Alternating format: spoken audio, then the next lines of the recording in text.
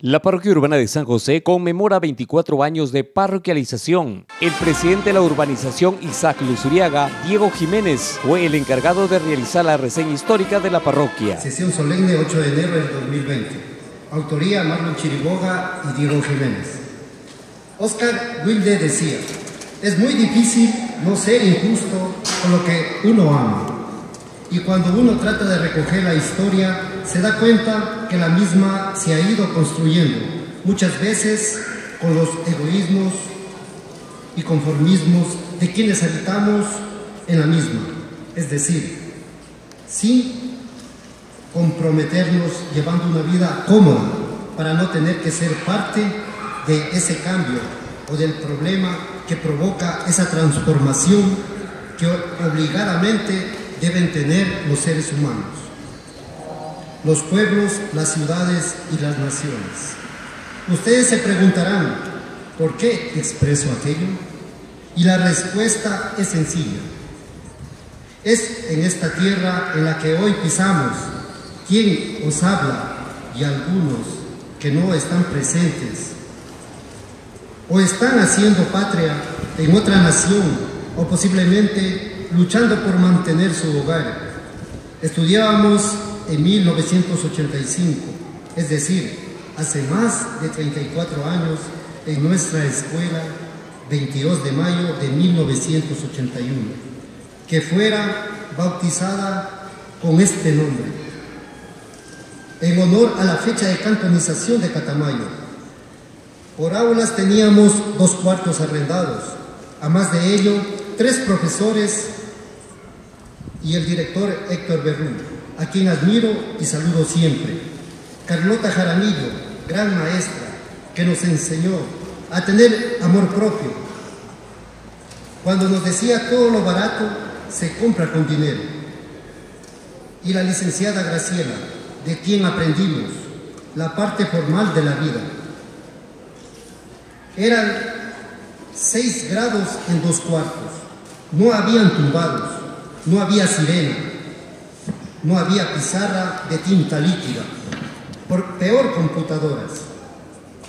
Se tenía que hacer un esfuerzo para apretados entrar en los pupitres múltiples. Nos llamaban al recreo con un pito, como los que hoy dirigen los partidos de fútbol. No existía cancha deportiva, cubiertas ni murallas alrededor de la escuela pero teníamos todo un campo donde nos ingeniábamos para jugar y ser felices, tratando en algunas ocasiones de cazar lagartijas, las cuales creo en algunos años estaría en extinción. Se cantaba el himno nacional a capela y hasta hoy no se ha escuchado a niños que lo canten como lo hacíamos eso lo digo en honor a lo, que manifestaba el clásico profesor de música, el desaparecido maestro Díaz de la Ovidio de Troya. No teníamos uniforme, pero sí teníamos la bandera del Ecuador, a la cual la izaba el estudiante más aprovechado. Éramos los niños del Mosqueral como comúnmente se les conocía a los niños de nuestro barrio en ese tiempo llamado CEPE. Posiblemente se preguntarán, ¿y qué tiene que ver aquello con la historia de San José?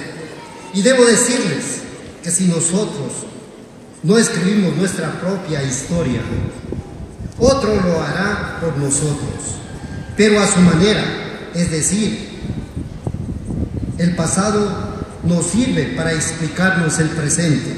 Consideré pertinente que la mejor forma de tratar de empezar a resumir la historia de una parroquia es empezando por su educación, por sus raíces educativas, ya que hago mías las palabras del hermano Manuel Ponte Sevillano, que escribiría en su obra sobre las génesis de la parroquia San José lo siguiente, Mientras más hermosa es la raíz de un pueblo, más hermoso y sólido es el futuro del ser humano.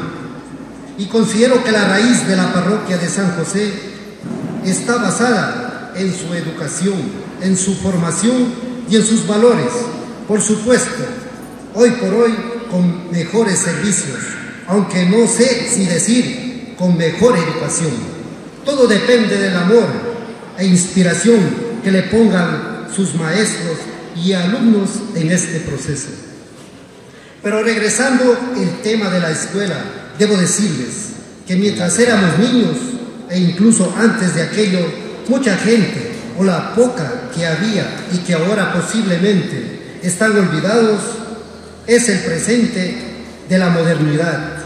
Luchaban para que lo que ahora es San José se construya y es así que en 1977, para controlar el déficit habitacional, se constituye la primera asociación de trabajadores agrícolas de Catamayo, con 160 socios, quienes observaban a este pedazo de terreno con futuro, visión y sobre todo con fe, y es así que con fines eminentemente de vivienda, dicha asociación se hizo en honor al Día Mundial de la Cooperación que fue que fuera digna por los señores Artemio Domingo Santos, secretario Victoriano Maldonado, tesorero Pablo Chamba, vocales Rómulo Ordóñez, ingeniero Gonzalo Piedra, Guillermo Ordóñez,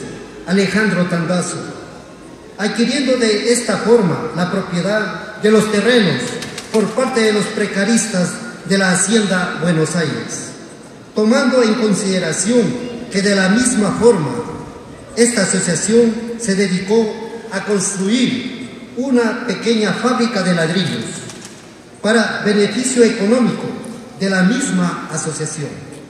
He ahí un principio en el cual algún momento debemos hacer hincapié para aclarar mejor nuestra historia. En lo posterior, este grupo asociado decide vender a la Corporación Estatal Petrolera Ecuatoriana, es decir, CEPE, para que pueda construir un terminal petrolero en los terrenos adquiridos. Debo rescatar que por las investigaciones exhaustivas que hiciera el hermano Ponte Sevillano, las cuales recogiera en su obra Nacimos los dos, el mismo manifiesta que el objetivo principal por el cual se le vendió a la empresa CEPE dicho terreno fue con la única finalidad de que CEPE abra y lastre la carretera, haga posiblemente el alumbrado eléctrico en los hogares y se esfuerce por hacer llegar el agua entubada desde Catamayo. Es decir, a CEPE lo que hoy es Petroecuador. El axioma de su llegada y el objeto principal por el cual se le vendió el terreno fue el de asumir un compromiso tal con el pueblo, que se comprometió con su crecimiento y engrandecimiento. Lástima que hoy por hoy parece que se perdió el verdadero sentido por el cual llegaron y el por qué en su momento se les dio libertad para que ingresaran por parte de la asociación. Aunque en la actualidad la modernidad y los proyectos llegan solo para Petroecuador y ni siquiera la vía principal de la cual ellos son los más beneficiarios quieren asumir un compromiso de colaboración. La pregunta ¿De quién es la culpa? En su momento nuestros mayores exigieron y trabajaron conjuntamente con esta empresa. Hoy por hoy simplemente se hace, se hace oídos sordos y de aquello tenemos pruebas y por eso escribo y por eso hoy levanto la voz de, en esta sala Luego, como una muestra de apoyo comercial, CEPE le vende a Lojagás un pedazo de terreno con el objetivo de instalar una envasadora. A más de aquello, rescatamos el nombre del ingeniero Rafael Armijos, quien fundó la ciudadela María Dolores, para donar a sus trabajadores lotes de terreno y en dichos solares en la actualidad es donde reposan el Colegio y Escuela San Juan Bautista y el Convento de las Hermanas de la Providencia. Por experiencia propia debo manifestar que ahí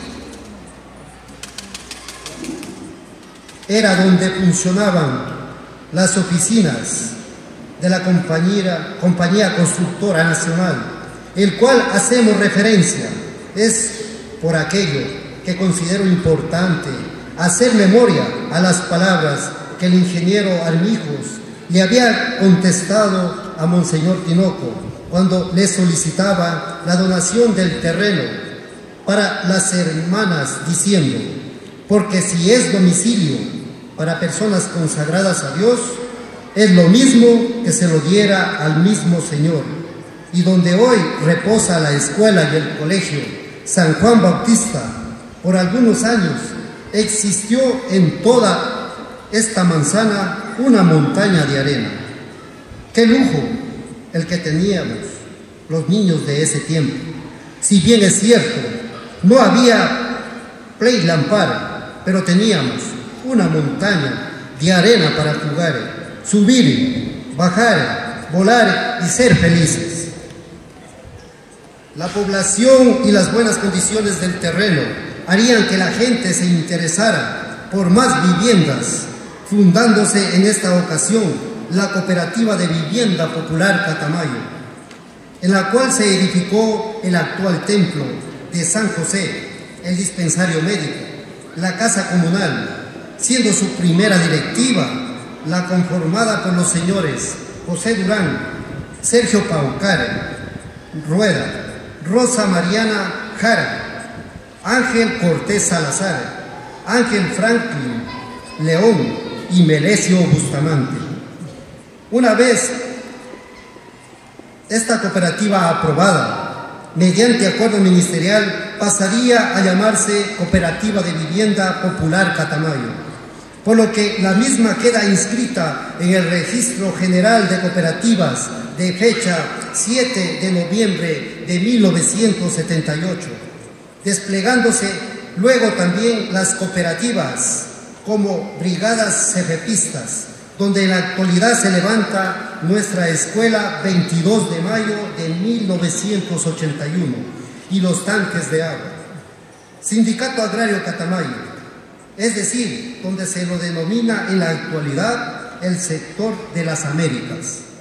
Los primeros pobladores de lo que hoy es nuestra parroquia, manifiestan que en sus inicios la primera necesidad fue el agua, puesto que se le trasladaba desde Catamayo en tanques y para evitar el peso se los colocaba en carros de manera de madera, propagándose poco a poco las mangueras para la diversidad de viviendas y cooperativas.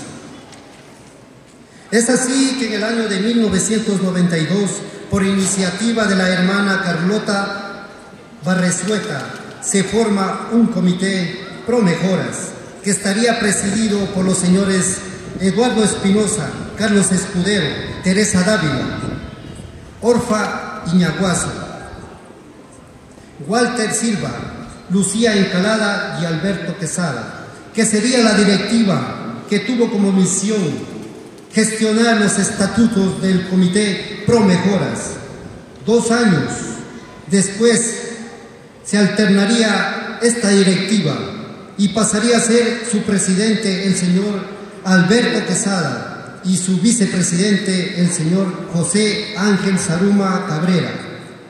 Por renuncia del titular asume la presidencia don Ángel Saruma, en el cual se logra constituir el primer puente en el año de 1995 y no se deja de gestionar la aprobación de la personería jurídica de la parroquia San José, logrando su aprobación de fecha 22 de diciembre de 1995, del acuerdo ministerial número 1015.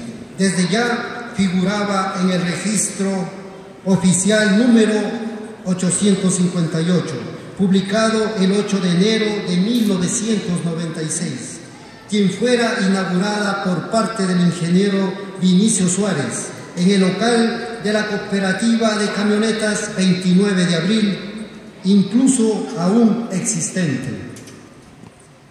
Una vez consolidada como parroquia urbana, el municipio, previa elección de sus moradores, aprueba la nueva directiva de la Junta Parroquial, la misma que fue dirigida por su presidente Jorge Matamoros.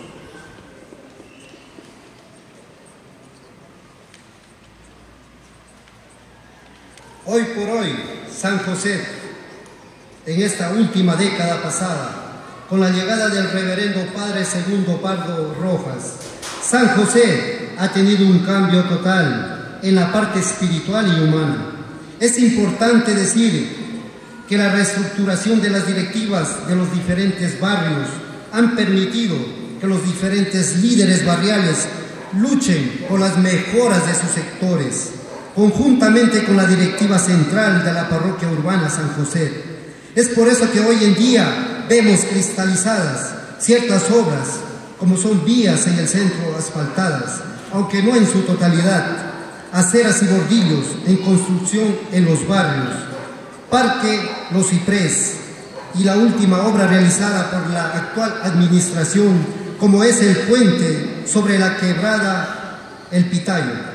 Esta importante parroquia cuenta con el registro civil, UPC de policía, iglesia central, Parque Los Abuelitos, Parque del Inmigrante, guarderías del MIES, instituciones educativas, como es Escuela 22 de Mayo, Unidad Educativa San Juan Bautista, Centro Educativo Petirroso, Estadio de Fútbol, múltiples canchas deportivas, cooperativas de transporte, 2 de junio, 29 de abril, Servicio de Transporte Público, Urbacat, Contamos con las fábricas de ladrillo y teja, empresas como Petroecuador, Gas, Mudemás, Avícola Serrano, entre otros.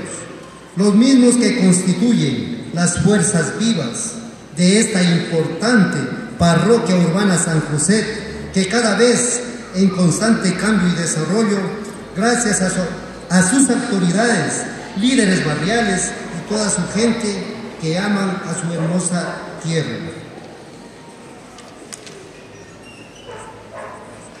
pero en ningún momento significa que estamos demasiado contentos con nuestro presente.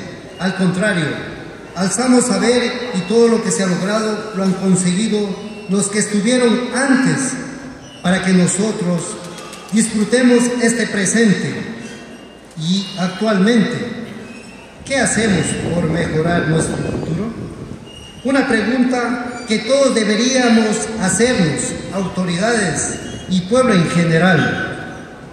Como diría Dionisio de Alicarnaso, la historia es una filosofía en ejemplos y eso es lo que hoy he tratado de hacer, tal vez alejándome del formulismo, pero sí apegado a la realidad. Muchas veces a esa realidad que duele, pero que forma. A esa realidad que construye y construye con lágrimas, mirando a esa justicia que casi siempre llega tarde, perdiendo su verdadero concepto de justicia, escuchando el clamor popular, pero no dejando de insistir y luchando y mirando al frente. Señoras, señores, gracias, disculpad.